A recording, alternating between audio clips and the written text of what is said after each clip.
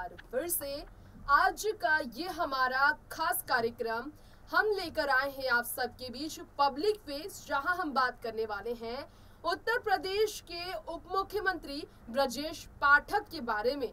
उनकी पत्नी, उनके बच्चे, उनके निजी जीवन, उनके राजनीतिक सफ़र और मुख्यमंत्री योगी आदित्यनाथ के साथ उनके नए सफ़र पर हम बात करेंगे। ये तो आप जानते ही हैं हार, चुनाव में हार का सामना करने के बावजूद विधानसभा चुनाव में करारी हार का सामना, अपने सीट से करारी हार का सामना करने के बावजूद केशव प्रसाद मौर्य दोबारा से उप मुख्यमंत्री के पद पर शपथ लेते हुए नज़र आए। योगी 2.0 कैबिनेट का हिस्सा बनते नज़र आए। लेकिन पिछली बार की तरह ही दो दो उप मुख्यमंत्री बनाए गए हैं, यानी कि दूसरे डिप्टी सीएम बन गए हैं ब्रजेश पाठक। अब ब्रजेश पाठक जो है, कानून मंत्री के तौर पर उत्तर प्रदेश में कार्यभार योगी सत्ता के वक्त ऑलरेडी संभाल रहे थे और उन्होंने अपने कार्यभार को बखूबी संभाला। बहुत ही खास तरीके से वो कार्यभार अपना संभालने के साथ काम करते नज़र आए। कि पत्नी नम्रता पाठक की बात की जाए, राजनीति दुनिया से दूर होकर भी अपने पति की राजनीतिक सफ़र में हमेशा उनकी सलाह में हमेशा उनको सपोर्ट करती रही है। उनकी बेटियों की बात की जाए, बेटों की बात की जाए तो फ़िलहाल उनकी निजी जीवन के बारे में बहुत ही ज़्यादा लोग नहीं जानते हैं। तो उनके बारे में आज हमारे इस खास प्रोग्राम पब्लिक फेस में कुछ बातें हम आपके बीच शेयर करेंगे। उनके एजुकेशन के बारे में बात करेंगे। हम बात करेंगे आप सबके बीच क्वालिफिकेशन और शुरुआत से ही राजनीति में ब्रिजेश पाठक का रुझान कुछ ऐसे रहा है। शिक्षा के समय से ही उन्होंने राजनीतिक सफ़र की जैसी पारी शुरू की। इसी कारण से योगी आदित्यनाथ के पसंदीदा मंत्री वो बने। और तो और, उनकी परीक्षा भी जो हुआ, परीक्षा परिणाम में वो सफल हुए, नाकाम नहीं हुए, जो जिम्मेदारियाँ उन्हें मिली। इसी वजह से उप मुख्यमंत्री के तौर पर केशव प्रसाद मौर्य के अलावा ब्रिजेश पाठक को उत्तर प्रदेश में चुना गया है। आज दोस्तों, हम आप सबके बीच सीएम योगी आदित्यनाथ के योगी 2.2 कैबिनेट का हिस्सा बने।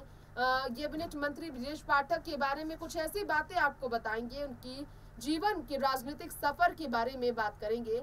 आइए जानते हैं हम, बावन जो नेता मंत्रिमंडल का हिस्सा बने हैं, यूपी में उनमें ब्रिजेश पाठक का नाम भी क्यों चर्चा में है? देखिए इसके लिए ये खास रिपोर्ट।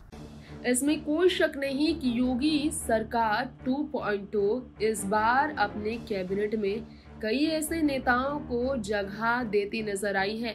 भाजपा सरकार, जिसमें ब्रजेश पाठक एक ऐसा नाम है, जिनसे बहुत ही ज़्यादा उम्मीदें। सीएम योगी आदित्यनाथ और साथ साथ में भाजपा मंत्रिमंडल को है। योगी 2.0 कैबिनेट का हिस्सा बनाते हुए उप मुख्यमंत्री का पदभार सौंपा गया है। केशव प्रसाद मौर्य के अलावा ब्रजेश पाठक को। तो उनके बारे में कुछ ऐसी बातें भी सामने आई हैं जो शायद आपको मालूम ना हो। पिछली बार कानून मंत्री बने रहने वाले ब्रजेश पाठक को इस बार डिप्टी सीएम बनाया गया। उनकी राजनीतिक सफ़र के बारे में आपको शायद मालूम ना हो। ब्रजेश पाठक ने छात्र जीवन से ही अपने राजनीतिक सफ़र की शुरुआत कर दी थी। उनके बारे में बात की जाए तो उत्तर प्रदेश में भारतीय जनता पार्टी की सरकार में इस बार केशव प्रसाद मौर्य के बराबर डिप्टी सीएम का दर्जा उन्हें दिया गया। उनके कार्यभार से प्रसन्न भाजपा सरकार ने यह फैसला लिया। ब्रजेश पाठक के हम यहाँ पर निजी जीवन की बात करना चाहेंगे। थोड़ा सा आपको बताना चाहेंगे ब्रजेश पाठक के बारे में कि कैसे लखनऊ में ताकत कम योगी कैबिनेट टू को लेकर खबरें आने लगी इस तरह की। ब्रजेश पाठक के आने के बाद, जी हाँ इस बार राजधानी लखनऊ की ताकत कम हो गई। सीएम योगी आदित्यनाथ ने लखनऊ के कैबिनेट में प्रतिनिधित्व पर कैंची चलाई और इस बार योगी कैबिनेट में लखनऊ से एकमात्र विधायक को ही जगह दी। लखनऊ के हाथ में सिर्फ़ एक उप मुख्यमंत्री का पद आया है। पिछली सरकार में लखनऊ के सात मंत्रियों को कैबिनेट में जगह मिली थी। तो लखनऊ से इस वक्त आपको बताना चाहेंगे, ये खबर आई है, जिसके कारण काफ़ी ज़्यादा शायद आप सबको हैरानी हो। लेकिन चलिए, ब्रजेश पाठक के बारे में जब बात हो रही है तो थोड़ा सा इनके बारे में हम आपको अपनी इस खास रिपोर्ट में यहाँ जो है, ये बताना चाहेंगे। उनके बारे में कुछ बातें शायद आप सबको मालूम ना हो, उनकी पत्नी के बारे में बात की जाए तो थोड़ा सा जानकारी उनकी पत्नी के बारे में देना चाहेंगे। ब्रजेश पाठक की पत्नी के बारे में, उनके परिवार के बारे में। पच्चीस जून साल उन्नीस सौ चौंसठ में जन्मे ब्रजेश पाठक, उत्तर प्रदेश की सत्तरवीं विधानसभा चुनाव में इस बार जीत के बाद डिप्टी सीएम बन गए हैं। अगर उनकी पत्नी के बारे में बात की जाए तो बताया जाता है कि किस तरह से यहाँ पर इस वक्त उनकी पत्नी के बारे में काफ़ी चर्चा है। जी हाँ यहाँ शायद आप सबको मालूम ना हो, लेकिन उनकी पत्नी के संपत्ति को लेकर काफ़ी चर्चा रही है और इसमें कोई शक नहीं कि उनके बारे में जानकर लोग काफ़ी हैरान, जनता भी हैरान हो गई है और यहाँ हम आपको इस बारे में ज़रूर फिर से बताना चाहेंगे। थोड़ा सा डिटेल हम आप सबको ज़रूर देना चाहेंगे। ब्रजेश पाठक के बारे में, उनकी पत्नी के बारे में बताते हुए, जो कि संपत्ति के मामले में किसी से कम नहीं बताई जाती है। ब्रजेश पाठक की पत्नी की बात की जाए तो बताया जाता है कि हथियार की लाइसेंस हथियार रखती हैं ब्रजेश पाठक की पत्नी और उनके बारे में कुछ और अगर बात की जाए तो उनके बारे में ये भी आप सबको बताना चाहेंगे कि कैबिनेट मिनिस्टर बने ब्रजेश पाठक की पत्नी के बारे में ये बताया जाता है कि इस वक्त लोगों को हैरानी होगी जानकर। संपत्ति में वो किसी भी मंत्री की पत्नी से इतनी कमज़ोर नहीं है। कई इवेंट फ़ंक्शन में ब्रिजेश पाठक के साथ उनकी पत्नी नम्रता पाठक को स्पॉट किया गया। जिस बेबाकी के साथ जनता की समस्याओं का निवारण करने के लिए हमेशा ब्रिजेश पाठक तैयार रहे हैं, जो सियासत में, यूपी के सियासत में बहुत ही बड़ा नाम है। उनकी बात की जाए तो आपको यहाँ बताना चाहेंगे। लखनऊ एक मध्य विधानसभा से उन्हें टिकट मिला और विधानसभा में वो पहुँचे। साल 2016 में भाजपा की उन्होंने सदस्यता ली थी। इससे पहले वो बसपा का हिस्सा थे, मायावती के साथ काम करते थे।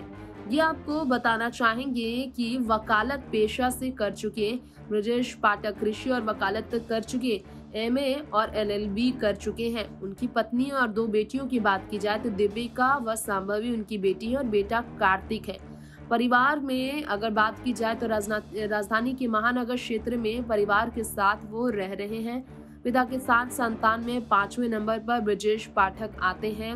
राजनीतिक सफ़र की बात की जाए तो साल उन्नीस सौ नवासी में उपाध्यक्ष वो चुने गए लखनऊ विश्वविद्यालय में और इसके बाद उनके स्कूल के दिनों से ही, पढ़ाई के समय से ही राजनीतिक सफ़र की उनकी शुरुआत हो गई। साल 2004 से लेकर साल 2008 तक चौदहवीं लोकसभा के सदस्य प्रथम बार निर्वाचित थे। साल 2008 से साल 2014 तक राज्यसभा के लिए सदस्य प्रथम प्रथम बार निर्वाचित हुए। साल 2017 मार्च में सत्रहवीं विधानसभा के सदस्य प्रथम बार निर्वाचित वो किए गए थे। उनकी मजबूती काफ़ी ज़्यादा भाजपा के पक्ष में रही है। वहीं उनकी पत्नी की बात की जाए तो आपको बता दें उनकी पत्नी काफ़ी ज़्यादा प्रोफेशनल रही है। आओ साथ चले जैसे इवेंट में आ, अपनी पत्नी के साथ जब ब्रजेश पाठक को स्पॉट किया गया था चीफ गेस्ट उनकी पत्नी भी बनी थी और वो दोनों काफ़ी ज़्यादा खुश नज़र आए थे। नेक्स्ट नाइन न्यूज़ से तृप्ति की रिपोर्ट तो जाना आप सबने ब्रिजेश पाठक के बारे में, पत्नी नम्रता पाठक। वैसे एक बात हम आपको बताना चाहेंगे, कोरोना के कहर के दौरान, कोरोना काल में, कोरोना के कहर के दौरान, कोरोना से पीड़ित हो गई थी नम्रता पाठक। तब काफ़ी ज़्यादा रिकॉर्ड यूपी में कोरोना के संक्रमण में आने वालों का बढ़ गया था। लखनऊ में इस वक्त अगर बात की जाए तो ज़रूर लखनऊ में जो भाजपा की ताकत है, वो कम हो गई है। पहले सात विधायक थे और इस बार जो है, सात में सिर्फ़ एक ही रह गए हैं और वो है कैबिनेट मंत्री इस वक्त ब्रजेश पाठक। बदलाव क्या किया जाएगा? क्या ब्रजेश पाठक जिम्मेदारियों को बखूबी निभा पाएँगे? क्योंकि उन पर प्रेशर बढ़ गया है। सात से सिर्फ़ एक को चुना गया है लखनऊ से तो कहीं ना कहीं लखनऊ में उनकी जिम्मेदारियाँ सबसे बड़ी है। फ़िलहाल वक्त हो गया है आप सबसे इजाज़त लेने का। तमाम ऐसे ही देश दुनिया की खबरों के लिए देखते रहे नेक्स्ट नाइन न्यूज़ नमस्कार।